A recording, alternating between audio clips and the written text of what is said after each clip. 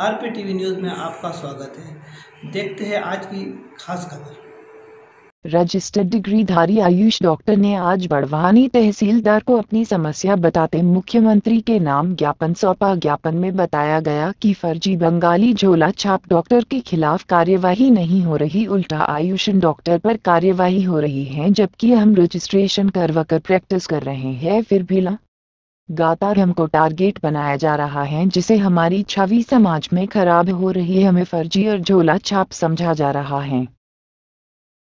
क्या समस्या लेके आए हैं? सर हम लोग आयुष डॉक्टर है पूरे बड़वानी ज़िले से यहाँ पर एकत्रित हुए हैं। हमारी समस्या ये है सर कि विगत कुछ दिनों से हम लोगों को झोला छाप के नाम से पुकारा जा रहा है क्योंकि हम लोगों ने साढ़े पाँच साल का कोर्स किया है। बाकायदा हमने एमबीबीएस लेवल की एनाटॉमी फिजियोलॉजी वगैरह सारे सब्जेक्ट पढ़े हुए उसके बाद में भी हम लोगों को पूरे ज़िले के अंदर झोला छाप की संज्ञान में लेकर हम लोगों पर कार्रवाई के अ, की जाती है।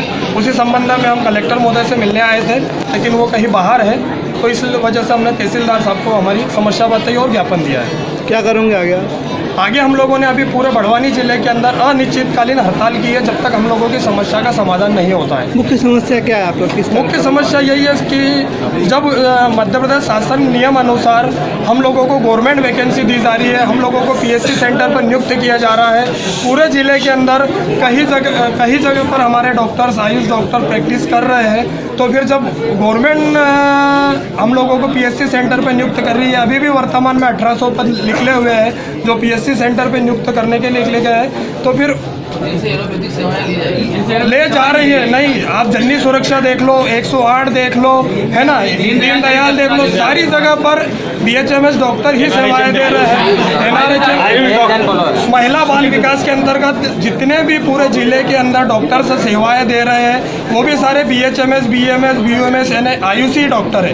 उसके उपरांत भी हम लोगों को झोला छाप की गिनती में लिया जाता है और वाकई में जो झोला छाप डॉक्टर्स है वो निडर होकर प्रैक्टिस कर रहे हैं अपना क्लिनिक चला रहे हैं और मरीजों की ज़िंदगी के साथ में खिलवाड़ कर रहे हैं। आपके खिलाफ कार्रवाई की जा रही है बार बार हम लोगों के खिलाफ बिल्कुल उन लोग आयुष जो झोला छाप है उन लोगों के कारण क्योंकि आयुष डॉक्टर डिग्री है वो क्वालिफाइड है तो वो तो अपने क्लिनिक पर बैठा ही रहता है। जब कोई प्रशासन की टीम आती है तो वो बस यही आता है कि यार ये झोला छाप डॉक्टर पे कार्रवाई की गई। और जो बिना प्रैक्टिस जो झोला छाप है वो बंद करके भग भाग जाते हैं। और जैसे ही कार्रवाई खत्म हुई वो वापस अपनी शटर उचका के बैठ जाते हैं।